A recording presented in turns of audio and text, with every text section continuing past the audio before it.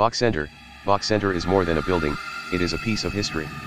The only current permanent tenant is the Tulsa Oilers of the ECHL. The BOK Center was the former home of the Tulsa Shock of the Women's National Basketball Association and the Tulsa Talons of the Arena Football League. Tulsa city officials asked César Pelli to create an arena that would be an architectural icon. The arena's hanging scoreboard, considered one of the most advanced in the country, is suspended above the arena floor and measures 50,000 pounds and 30 by 33 feet, making use of four 8 by 14 feet HD screens, four 8 by 8 feet HD screens, a wraparound 9 foot HD screen, and another 3 foot wraparound HD screen.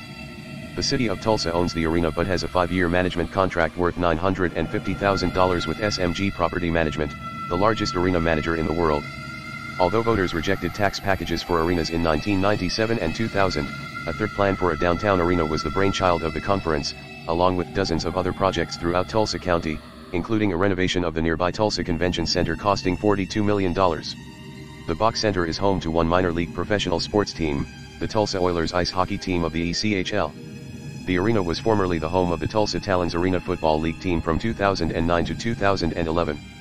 The stop in Tulsa was McCartney's first in Oklahoma since 2002 and was the only arena show of his 2009 summer tour.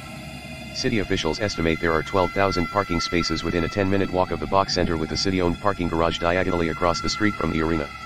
During major events, Tulsa Transit runs free shuttle bus services to and from the arena and downtown Tulsa.